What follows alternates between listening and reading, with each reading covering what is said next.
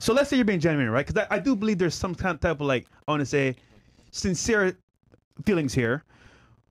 What does this mean for you? Because obviously you can see he does have a concern about OnlyFans. So if he asks you, listen, Sam, I messed with you a lot. You're really cool. Would you start OnlyFans for him? Be honest. Yeah, I would. Wait, seriously? Stop the cap. Really? I would. There's no reason I should be doing it for Deactivate like your longer account right than now, two to three on years. air. On air. Let's do it. Deactivate right your now. account right Boom. now on air. No, it's not worth it for me right now. Oh! Do you want to talk about that right oh, now? There you go. Do you want me to? Man. Deactivate it Do you want me to? Oh, Yeah. Do you want me to delete my oh OnlyFans? my gosh. I mean, yeah. Yeah?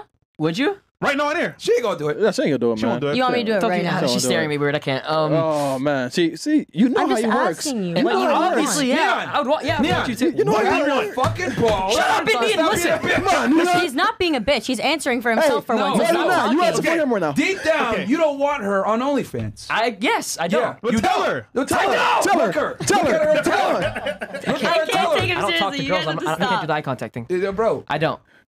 You tell her I don't like this shit. I don't It's like this shit. unacceptable. Well, I don't like how you try and flirt with other women. Who cares what you think? Yeah, who cares? Hey, Exactly. It's unacceptable. it's unacceptable for you to be on OnlyFans, and I don't like this. I've told her that. I've told her that before. Hey, we'll do it again. I don't like it. Okay. This is terrible. Bro, you got to be able to you g- speak in the active voice, not in the passive voice. I don't like this. You need to stop, or you're single. Okay. If you want to keep talking about this, Mm-hmm. that's on you. But the thing is, you have to understand. uh, You don't even fucking care when I'm I listening. speak, I'm as- I'm regardless. like you're to not you. even looking at me. You're just doing other shit. Like I'm listening. Go ahead. we got you. Yeah, I even got my pen, listening. pen and paper ready. At least. Go ahead.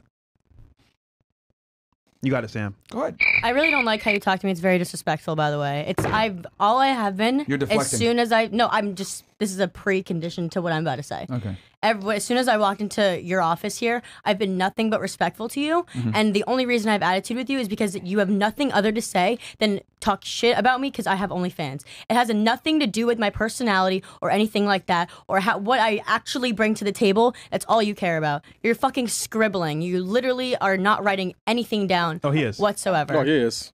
It's ironic.